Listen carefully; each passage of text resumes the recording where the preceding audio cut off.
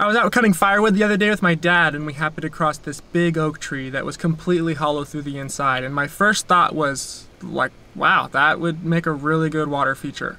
So I texted my brother who's got kids and I said, hey, how would you and your wife like to have a small pond in your backyard with a waterfall that your girls can float paper sailboats over?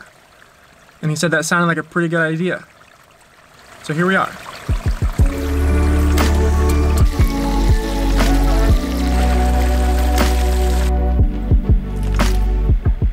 So my brother and his wife just went through this big house expansion and since they haven't touched the backyard yet, it's a total blank slate.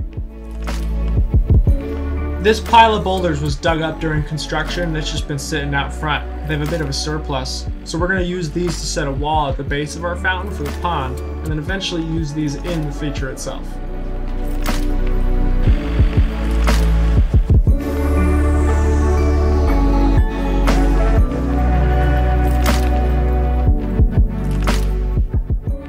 With the pond lined out at the base, I can start visualizing where we want to dig out for the log.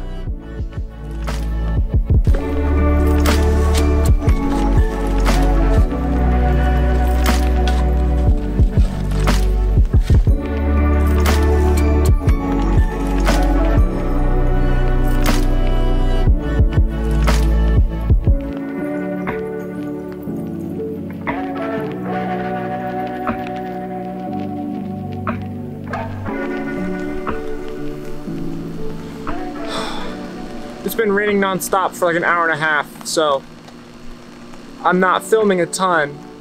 Um, but I got my rocks set around the pond and for the log, so I'm gonna, I think I'm gonna start rolling my liner out in the rain and the mud, um, and maybe try to get that log set in before the end of the day. And we've only been up here for like four hours. Um, my dad running the tractor with rock back and forth, and me setting and guiding the rock in we're really moving along. We got a lot done today. I might jump cut to the liner being rolled out because I'm about to get all muddy. And like I said, it's pouring rain, so I don't want to film and get my camera all soaked. You see here, kid, you gotta just go for it. Don't think about what comes after or what came before. You just gotta bend your knees, take a deep breath, and jump. And you might think, what if I fall? Well, Fly?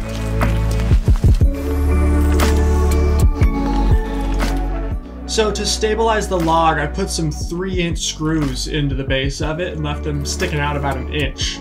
So then when I poured my concrete in, about 80 pounds worth, it's gonna harden over those screws and keep my log steady. I did the same thing on the back uphill side where you can't see it and it'll be buried and that'll keep the log from rolling.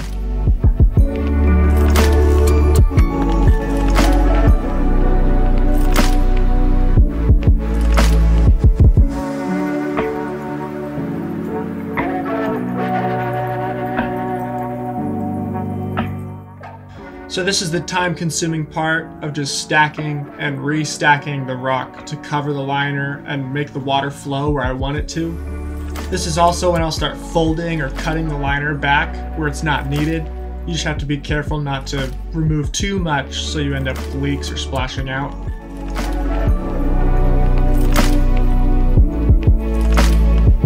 Okay, it is another new day. It has been raining off and on since I started this project, so everything is covered in mud. So it really doesn't look like much. But I've got it all set in from the bottom to the top. I brought a bag of little round rock river pebbles and I bought a bag of sand and I'm sort of filling in the river area to make it look like a river. And I'm filling up the edge of the pond with dirt and more rock from around their house to make it look natural so it'll look like they just have a pond at the bottom. Uh, that cattail got planted along with the ferns. There's a fern on the top of the log and a fern underneath the log. And I put these little, little ground covers in around the rock wall at the bottom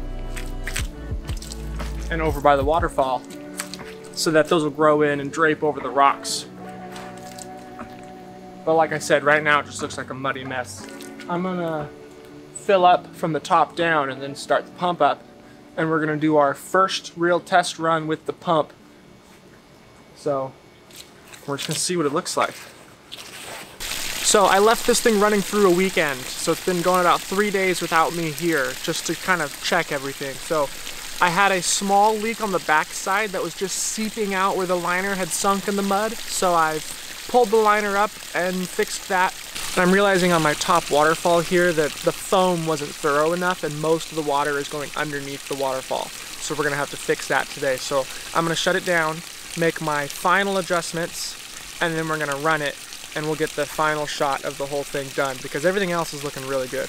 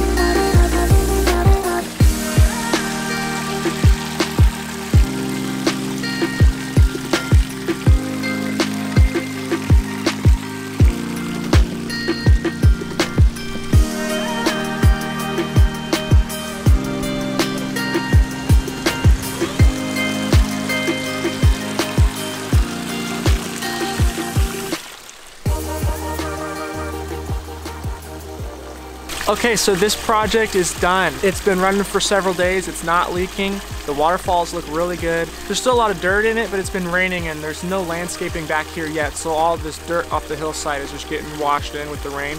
But that'll go away when they finish landscaping the hillside. I went ahead and I planted these little ground covers in here for them and the ferns to, to let those grow in between the rocks and fill in some of the cracks and make it look good. But those won't grow in until the spring and summer.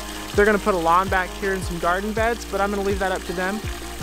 If you enjoyed this video and thought this project was cool, leave me a like below, comment anything you want, and subscribe to my channel. I do all kinds of landscape and gardening and lifestyle DIY videos and vlogs, so I have more projects like this planned. Subscribe to my channel, and we'll see you guys in the next video. Thanks for following along. Peace.